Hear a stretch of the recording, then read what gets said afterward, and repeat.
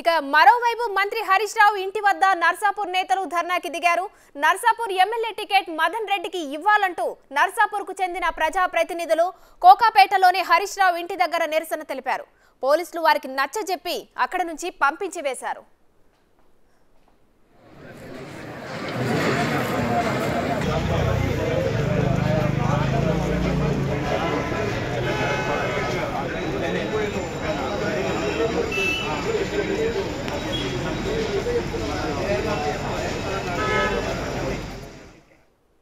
Right ఇక బీఆర్ఎస్లో అసంతృప్తులు తమకు టికెట్ దక్కలేదని చెప్పేసి అసంతృప్తితో రగిలిపోతున్నారు. మరోవైపు హరి కోకాపేటలోని హరీష్ రావు ఇంటి దగ్గర కూడా బీఆర్ఎస్ కొంతమంది నేతలు టికెట్ దక్కని వాళ్ళు ధర్నా చేస్తున్నట్టు కూడా తెలిసిన విషయం మనకు. దీనిపై మరింత సమాచారం అక్కడి నుంచి మా ప్రతినిధి బ్రహ్మాజీ లైవ్లో అందిస్తారు. రైట్ బ్రహ్మాజీ మనకు తెలిసిందే ఆశావాహుల లిస్టు రాగానే ఎవరికి వారు అసంతృప్తులు బయటకి వస్తూ వేరే వేరే పార్టీలో కూడా జాయిన్ అవుతున్నటువంటి సిచ్యువేషన్. ఇప్పుడు హరీష్ రావు ఇంటి దగ్గర కూడా కోకాపేటలోనే హరీష్ రావు ఇంటి దగ్గర కూడా ధర్నా చేస్తున్నట్టు తెలుస్తోంది. దీనిపై అప్డేట్స్ ఏంటి? ఉమా మొన్న కేసీఆర్ ప్రకటించినటువంటి అభ్యర్థుల లిస్టులో మొత్తం నూట పంతొమ్మిది కానీ నూట పదిహేను అభ్యర్థులను ప్రకటించారు. అందులో ఒక ఎనిమిది మంది మాత్రమే పక్క పెట్టి మిగతా అందరికి కూడా టికెట్లు కేటాయించడం జరిగింది. అయితే ఈ సందర్భంగా కూడా చాలా తీవ్రమైన స్థాయిలో ఏదైతే విమర్శలు అసంతృప్తులు ఇవన్నీ గత కొన్ని రోజులుగా మనం చూస్తూనే ఉన్నాం. అయితే ఒక నాలుగు నాలుగు స్థానాలను మాత్రం హోల్డ్లో పెట్టారు. అందులో నర్సాపూర్ కూడా హోల్డ్లో పెట్టడం జరిగింది. ఆ టికెట్ ప్రస్తుతం సిట్టింగ్ ఎమ్మెల్యే మదన్ రెడ్డికి ఇవ్వాలా లేకపోతే సునీత లక్ష్మారెడ్డి ఆశిస్తున్నారు. కాంగ్రెస్లో మాజీ మంత్రి ఆమె ఆమెకి ఇవ్వాలనేది మాత్రం అధిష్టానం తీర్చుకోలేకపోతుంది. అయితే ప్రస్తుతం ఉన్నటువంటి సమాచారం ప్రకారం మాత్రం సునీత లక్ష్మారెడ్డికి టికెట్ ఇచ్చే అవకాశాలు ఎక్కువగా ఉన్నాయని వార్తలు వస్తున్న నేపథ్యంలో ఏదైతే హరీష్ రావు ఇంట్లో ఆ, కోకాపేటలో ఉన్నటువంటి హరీష్ రావు ఇంటికి నర్సాపూర్ నేతలు వెళ్ళి అక్కడ ఆందోళన నిర్వహించారు. ఆయన ఇంటి ముందు బైఠాయించి ఆయన ఇంటి ముందు కూర్చుని కూడా బైఠాయించి ఆందోళన నిర్వహించడం జరిగింది. ఏదైతే నర్సాపూర్ టికెట్ కంపల్సరీ మదన్ రెడ్డికే ఇవ్వాల్సింది మదన్ రెడ్డికి ఇస్తే తాము గెలిపించుకుంటామని చెప్పని కార్యకర్తలు అభిమానులు కూడా ఆ, ఇంటి చుట్టూ మోహరించి ఉన్నప్పటికీ కూడా పోలీసులు మాత్రం వాళ్ళకి నచ్చజెప్పి బయటికి పంపించారు. అయితే హరీష్ సంబంధించినటువంటి మనుషులు కూడా కొంతమందికి వచ్చి హరీష్ రావు ఏదో ఒక నిర్ణయం పార్టీ అధిష్టానం కేసీఆర్ ఏదో ఒక నిర్ణయం తీసుకుంటారు అప్పటిదాకా వేచి చూడండి అంటూ కూడా వాళ్ళు చెప్పడం జరుగుతుంది. అయితే ఇదే పరిస్థితి ఇటు హైదరాబాద్తో పాటు మేడ్చల్ రంగారెడ్డి జిల్లాలో కూడా ఇదే పరిస్థితి కనిపిస్తుంది.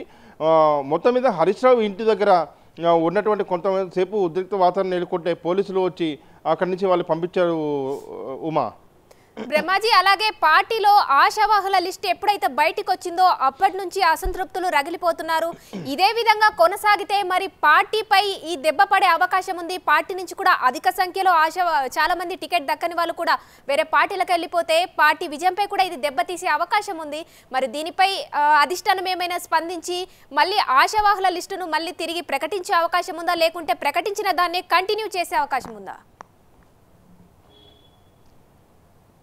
ప్రస్తుతం ఏదైతే అభ్యర్థులు ప్రకటించిన తర్వాత ఆశావాహులు ఎవరైతే ఉన్నారో అసంతృప్తులు వాళ్ళందరూ కూడా మెల్లిమెల్లిగా బయటికి వస్తున్నారు.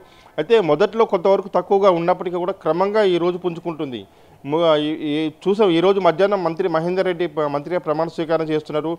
ఆయనకి ప్రమా మంత్రిగా అవకాశం ఇస్తారని కేసీఆర్ హామీ ఇవ్వడంతో ఇటు తాండూరు ఎమ్మెల్యే కూడా వచ్చి మహేందర్ రెడ్డిని కలవడం తన గెలుపు కృషి చేయాలని చెప్పి ఆయన కోరడం జరిగింది. తర్వాత మహేందర్ రెడ్డి కూడా ఇంతకుముందు మాట్లాడుతూ మాట్లాడుతూ మా ఏదైతే పైలట్ రోహిత్ రెడ్డికి తనకు ఎటువంటి గొడవ లేవని కూడా క్లారిటీ ఇచ్చారు.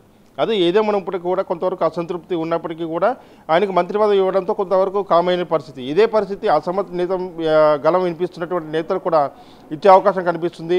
వాళ్ళకి ప్రభుత్వం వచ్చిన తర్వాత మళ్ళీ మూడోసారి ప్రభుత్వం వచ్చిన తర్వాత వాళ్ళకి చైర్మన్ పదవులు లేకపోతే రాజ్యసభ ఎమ్మెల్సీ తదితర పదవులు ఇస్తామని చెప్పని కూడా కొంతవరకు వాళ్ళు సముదాయిస్తున్నారు అయినప్పటికీ కూడా తాము పార్టీకి విధేయులుగా ఉంటా ఉంటాము అంటూనే కొంతవరకు అసంతృప్తిని మాత్రం వెలగక్కుతున్నారు. ఆ విధంగా చూసుకుంటే ఇటు ఇబ్రహీంపట్లో కేమ మల్లేషు అదేవిధంగా ఎల్బీ నగర్లో కూడా ఏదైతే రామ్మోహన్ గౌడ్ కూకట్పల్లిలో ఆయన మీద ఏ ఎంఎస్ సిట్టింగ్ ఎమ్మెల్యే మాధవ కృష్ణారావు మీద అలిగినటువంటి గొట్టుముక్కలు వెంకటేశ్వరరావు కూక అది షేర్లింగపల్లి అరికపూడి గాంధీ మీద అసంతృప్తి వ్యక్తం చేస్తున్నటువంటి బండి రమేష్ ఇక్కడ ఖైరతాబాద్లో దానం నాగేంద్ర మీద అపోజిషన్గా ఉంటు అంటే అసమ్మతి రాగం వినిపిస్తున్నటువంటి మన్నె గోవర్ధన్ రెడ్డి. అంటే వాళ్ళ భార్య ఇప్పుడు వెంకటేశ్వర నగర్ కాలనీ కార్పొరేటర్గా కూడా ఉన్నారు. అయితే ఈయన మన్ని కా- మన్ని గోవర్ధన్ రెడ్డి రెండు వేల పద్దెనిమిది ఎన్నికల్లో టికెట్ ఆశించి భంగపడ్డప్పటికీ కూడా ఆయన బీఎస్పీ నుంచి పోటీ చేయడానికి రంగంలో సిద్ధం చేసుకున్నారు. తర్వాత మళ్ళీ పార్టీలోకి చేరడం జరిగింది. ప్రస్తుతం మన్నె గోవర్ధన్ రెడ్డి మాత్రం కొంతవరకు అసంతృప్తిగా ఉన్నప్పటికీ కూడా ఆయన మాత్రం ఎక్కడ బయటపడడం లేదు. అంటే పార్టీ నుంచి ఏదైనా హామీ వచ్చిందా లేదా అనేది మాత్రం ఇంకా పార్టీ వర్గాలు ఎవరు కూడా క్లారిటీ ఇవ్వడం లేదు. అదేవిధంగా అన్ని రకాల ఉప్పల్లో అయితే చూసుకుంటే సిట్టింగ్ ఎమ్మెల్యే బేతి సుభాష్ రెడ్డి కూడా తీవ్ర అసంతృప్తి ఉన్నారు. ఆయన గత కొన్ని రోజులుగా ఫోన్ స్విచ్ ఆఫ్ చేసుకుని పెట్టుకుని ఉన్నటువంటి పరిస్థితి. ఇక బొంతు రామ్మోహన్ మాజీ మేయర్ ఆయన కూడా రెండు వేల పద్దెనిమిది నుంచి టికెట్ ఆశించి భంగపడ్డారు. రెండు వేల ఇప్పుడు ఈ ఇరవై మూడులో కూడా టికెట్ రాకపోయినప్పుడు కూడా ఆయన తీవ్ర అసంతృప్తి వ్యక్తం చేస్తున్నారు.